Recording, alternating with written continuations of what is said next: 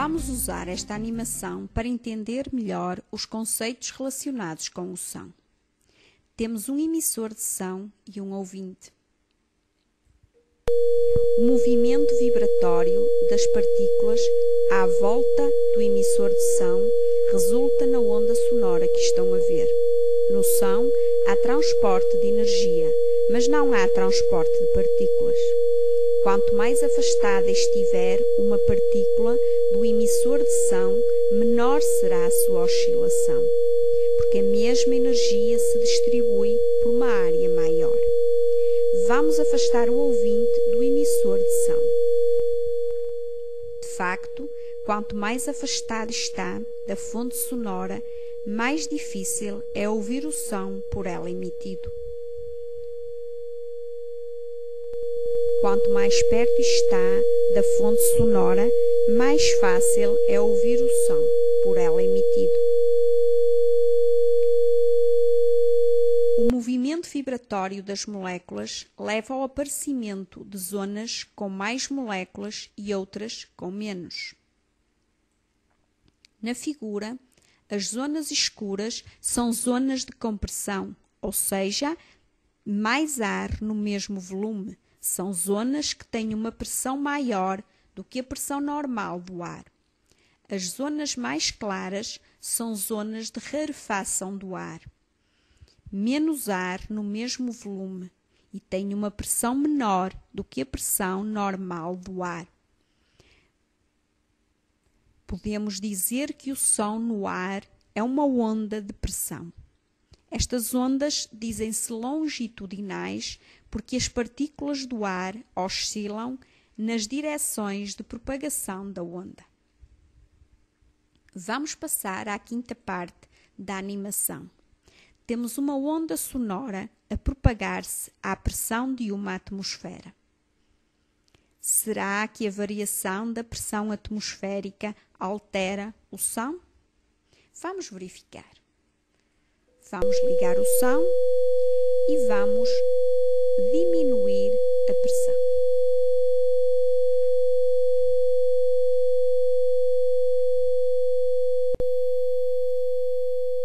À medida que diminui a pressão, é cada vez mais difícil ouvir o som.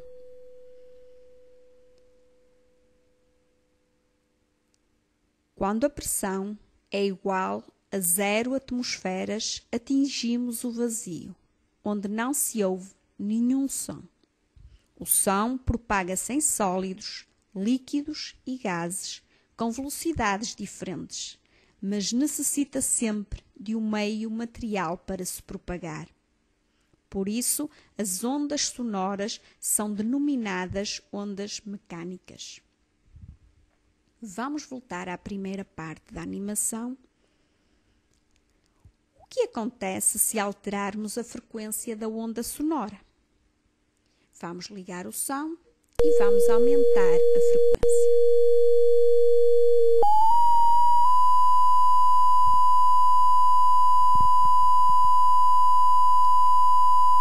Aumentando a frequência, o som é mais alto, agudo ou fino.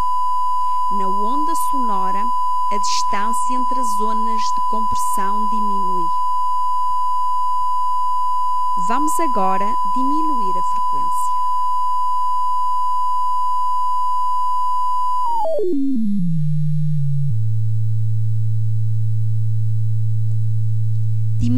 A frequência, o som é mais baixo, grave ou grosso.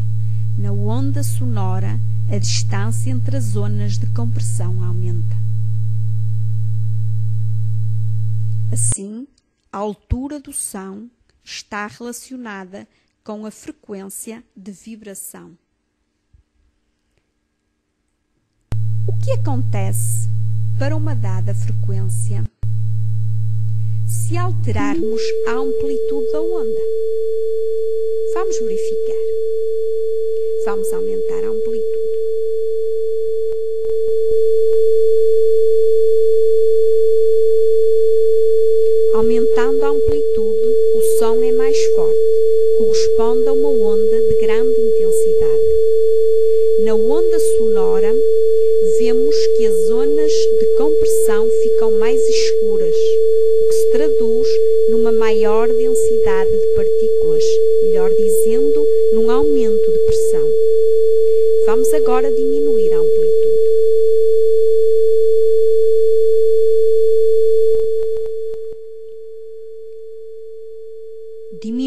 amplitude, temos um som fraco, correspondente a uma onda de pequena intensidade.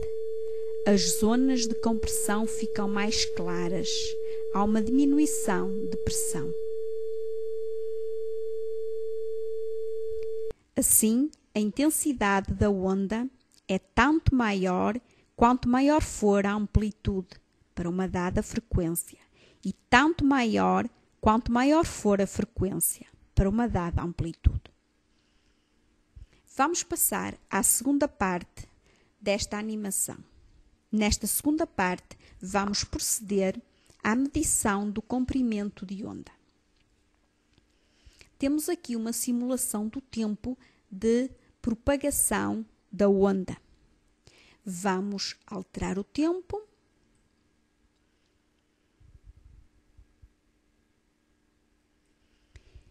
Para 0,0151 segundos, vamos medir a distância entre duas zonas de compressão consecutivas, ou seja, o comprimento de onda.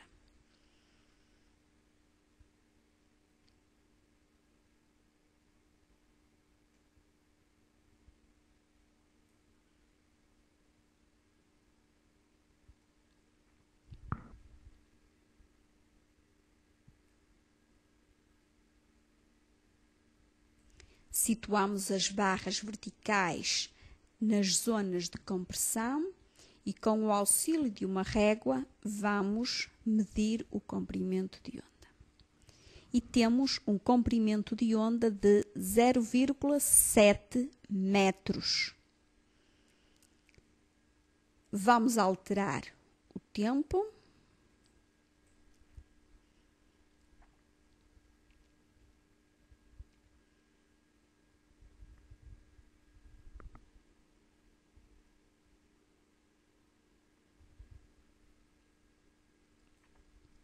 Para um tempo de 0,0442 segundos, vamos novamente medir a distância entre duas zonas de compressão consecutivas, ou seja, o comprimento de onda.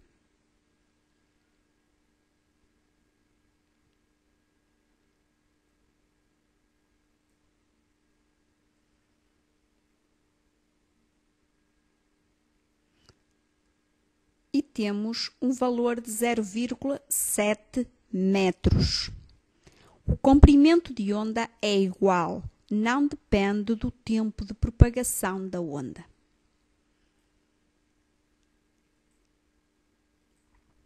Mas será que depende da amplitude?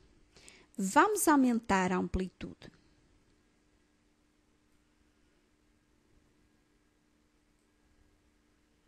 Vamos proceder novamente à medição entre duas zonas de compressão consecutivas.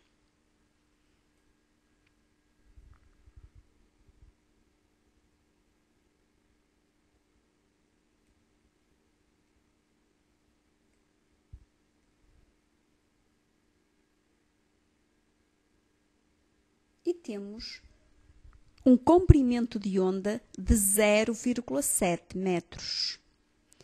Concluímos novamente que o comprimento de onda não depende da amplitude. Mas será que ele depende de alguma grandeza? Não depende do tempo de propagação, não depende da amplitude.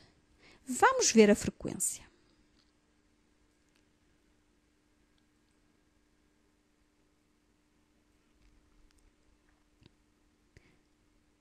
Vamos aumentar a frequência, mantivemos a mesma amplitude.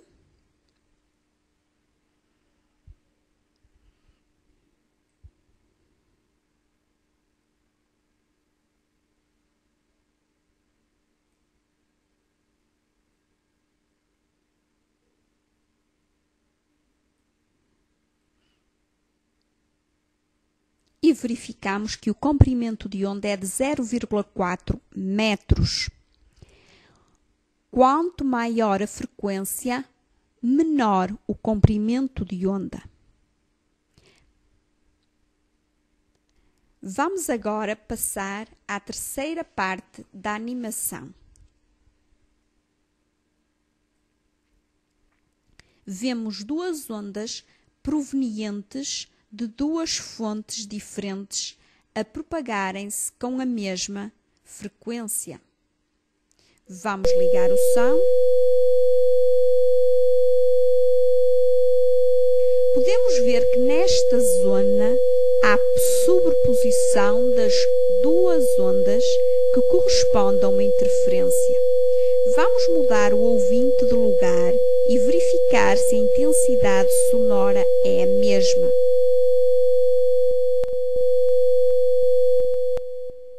Aqui, o ouvinte ouve mal o som. Temos uma interferência destrutiva, ou seja, as ondas estão em oposição de fase. Aqui ouve bem o som. Temos uma zona onde as ondas estão em fase. Deu-se uma interferência construtiva. E vamos passar para a quarta parte da nossa animação. Aqui vemos uma onda sonora que bate numa superfície polida e de material elástico, voltando para a direção de onde veio, ou seja, dá-se o fenómeno da reflexão. A onda incidente e a onda refletida que se propagam na mesma direção em sentidos opostos sobrepõem-se, dando-se uma interferência por reflexão e originando uma onda estacionária.